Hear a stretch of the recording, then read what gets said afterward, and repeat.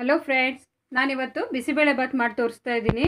ಅದಕ್ಕೆ ಬೇಕಾಗಿರೋ ಇಂಗ್ರೀಡಿಯೆಂಟ್ಸು ಅಕ್ಕಿ ಒಂದು ಪಾವು, ಎಣ್ಣೆ ಒಗ್ಗರಣೆಗೆ ತುಪ್ಪ ಒಂದು ಸ್ಪೂನು ಉಪ್ಪು ರುಚಿಗೆ ಇಂಗು ಹುಣಸೆಹಣ್ಣು ಒಂದು ನಿಂಬೆ ಗಾತ್ರ, ಬೇಳೆ ಒಂದು ಲೋಟ, ಸಾಸಿವೆ ಅರಿಶಿನ ಪುಡಿ ಅರ್ಧ ಚಮಚ. ಇದು ನಾನು ಮನೇಲಿ ಮಾಡಿರೋದು powder bisibele bath powder already ನಾನು ಚಾನಲಲ್ಲಿ ಹಾಕಿದ್ದೀನಿ. ಸೊ ಅದಕ್ಕೆ ಬಾತ್ ಮಾಡಿ ತೋರಿಸ್ತಾ ಇದ್ದೀನಿ.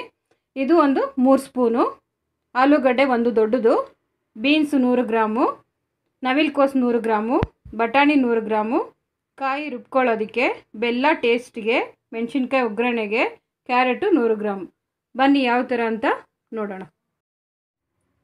ನೀರು ಕುದಿಯೋಕೆ ಇಟ್ಕೊಂಡಿದ್ದೀನಿ. ತರಕಾರಿ ಎಲ್ಲ ಅದರಲ್ಲಿ ಸೇರಿಸ್ಕೊಂಬಿಡೋಣ.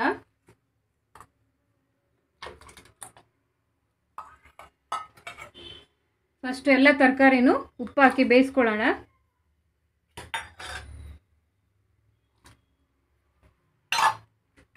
ತರಕಾರಿ ಬೇಯಕ್ಕಿಡುವಾಗಲೇ ಸ್ವಲ್ಪ ನೀರು ಜಾಸ್ತಿ ಇಟ್ಕೊಂಬಿಡಿ. ಆಮೇಲೆ ನೀರೇನು ಮಿಕ್ಸ್ ಮಾಡ್ಕೊಳ್ಳೋದು ಬೇಡ. ಸೊ ಈಗ ಉಪ್ಪು ಒಂದು ಅರ್ಧ ಸ್ಪೂನ್ ಹಾಕಿರೋಣ. ಆಮೇಲೆ ನೋಡ್ಕೊಂಡು ಹಾಕ್ಕೊಳ್ಳೋಣ. ಬೇಳೆನ ತೊಳ್ಕೊಂಡು ಅಕ್ಕಿನೂ ತೊಳೆದಿಟ್ಟಿದ್ದೆ ನಾನು ಆಗಲೇ ಸೊ ಅದೆರಡನ್ನೂ ಮಿಕ್ಸ್ ಮಾಡಿ ನೀರು ಹಾಕಿ ಅನ್ನ ಮಾಡ್ಕೊಂಬಿಡೋಣ, ಒಂದು ವಿಸಲ್ ಮಾಡಿಕೊಂಡ್ರೆ ಸಾಕು ಅನ್ನ.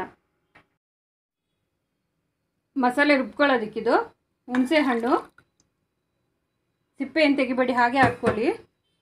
ಇದು ಮೂರು ಸ್ಪೂನ್ ಹೇಳಿದ್ನಲ್ವ ಪೌಡರು, ಒಂದು ಸ್ಪೂನು ರುಬ್ಬಕ್ಕೆ ಹಾಕ್ಕೊಳ್ಳಿ, ಇನ್ನೆರಡು ಸ್ಪೂನು ಹಾಗೆ ಒಗ್ಗರಣೆಗೆ ಹಾಕ್ಕೊಳ್ಳಿ.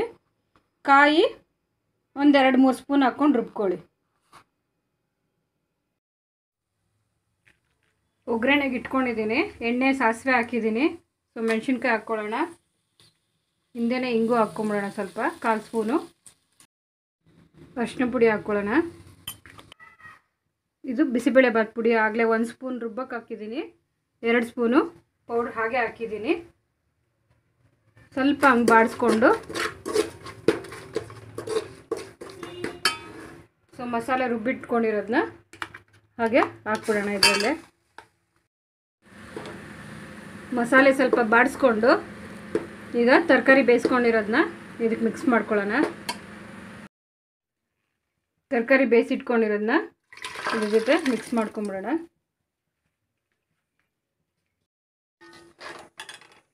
ಮಸಾಲೆ ನೀರೆಲ್ಲ ಹಾಕ್ಬಿಟ್ಟು ಬೆಲ್ಲ ಹಾಕೊಂಬಿಡೋಣ.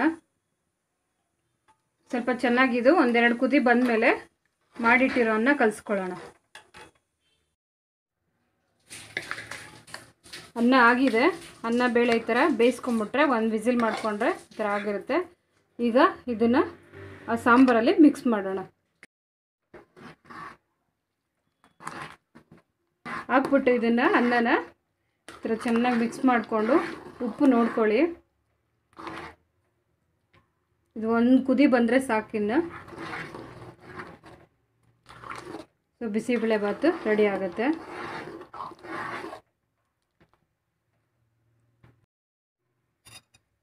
ಕಲಸಾಗಿದೆ.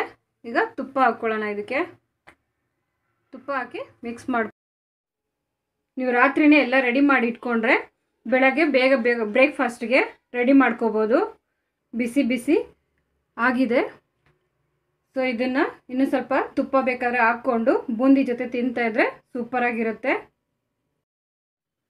ಇಷ್ಟ ಆಗಿದ್ದಲ್ಲಿ ನನ್ನ ಚಾನಲ್ ಇನ್ನೂ ಸಬ್ಸ್ಕ್ರೈಬ್ ಮಾಡ್ಕೊಂಡಿಲ್ಲ ಅಂದರೆ ಸಬ್ಸ್ಕ್ರೈಬ್ ಮಾಡ್ಕೊಳ್ಳಿ. Thank you